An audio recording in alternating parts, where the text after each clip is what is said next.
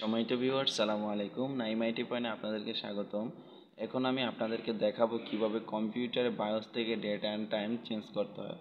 তো তার জন্য প্রথমে চলে যেতে হবে হচ্ছে কম্পিউটারের বায়োসে তো বায়োসে জানার জন্য কম্পিউটারটিকে আমি প্রথমে রিস্টার্ট দিয়ে নিচ্ছি।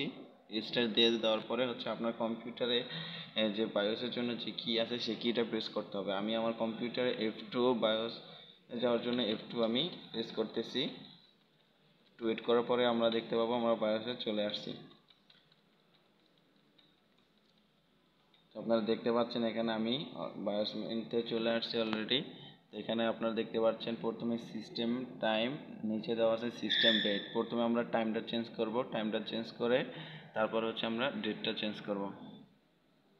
এখন হচ্ছে আমাদের সময় হচ্ছে নয়টা। এখান থেকে আপনার কিবোর্ড থেকে প্রেস করতে হবে।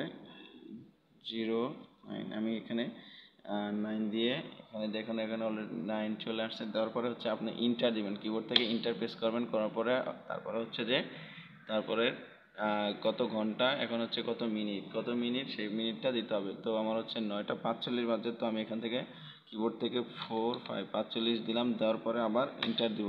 তো হচ্ছে সেকেন্ড এটা ম্যাটার করে না, এটা যা আছে তাই থাকলেও সমস্যা নেই। দেওয়ার পরে হচ্ছে এখন আমরা যে যাব হচ্ছে ডেটে টাইম ঠিক করলাম। এখন আমরা ডেট ঠিক করব। ডেট ঠিক করার জন্য আমরা এখান থেকে কিবোর্ড থেকে এটা প্রেস করব। করার পরে আমরা এখন ডেটে চলে আসছি। এখান থেকে আমাদের আজকে হচ্ছে যে দশ তারিখ। এখান থেকে আমি দশ কিবোর্ড থেকে ওয়ান জিরো প্রেস করলাম করার পরে ইন্টার দিব, দেওয়ার পরে হচ্ছে মান্থ মান্থ হচ্ছে যে জিরো ফোর জিরো ফোর দিয়ে আবার ইন্টার দিব।